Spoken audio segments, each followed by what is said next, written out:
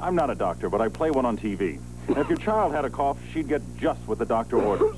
But for your cough, you play doctor at home, even trying medicine you originally bought for your child.